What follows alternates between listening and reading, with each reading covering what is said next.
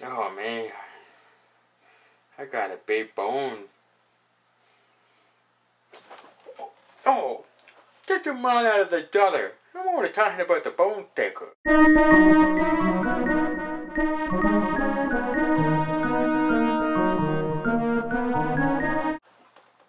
Hey there, my name's Adam, and today we're going to be drinking the Boneshaker from Amsterdam Brewery. Let's see. Now, this is a big beer. We're talking about 7.1% here. Uh, you know, it's a name, you know, IPA. So, I'm unfiltered. So, let's get into it. Got my nice little Boneshaker glass here.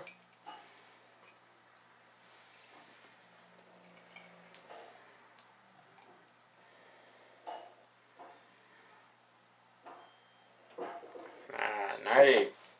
Look at that, eh? Nice little Boneshaker right there. It's got almost like a, a deep amber color right there. It's a bit hazy. It's got a nice big white head there. So it's quite nice here. Uh,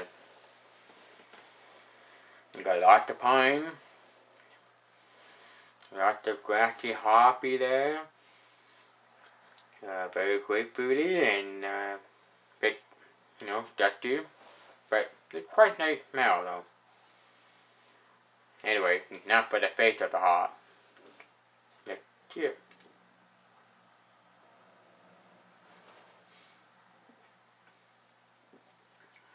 So,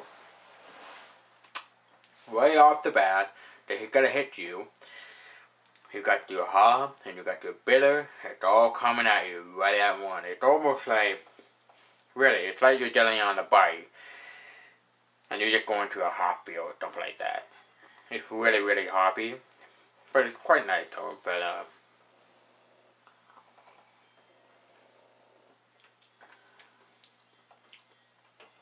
got a bit of a, like a little bit more.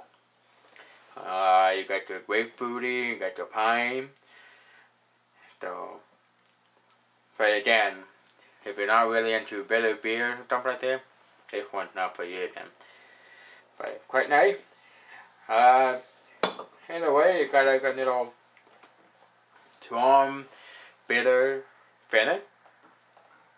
But uh, at 7.1%, don't hardly taste that. It's almost like, actually like it's like 6% or something like that. But but it's hiding behind the heart. But, you know.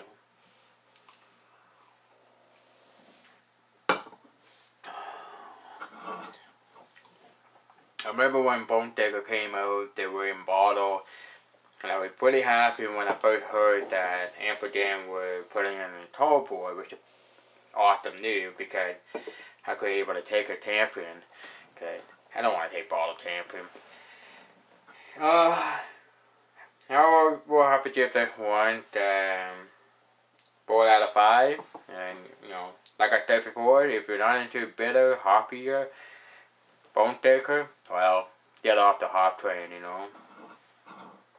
But again, 4 out of 5, this is the Boneshaker from Amsterdam Brewery. And, uh,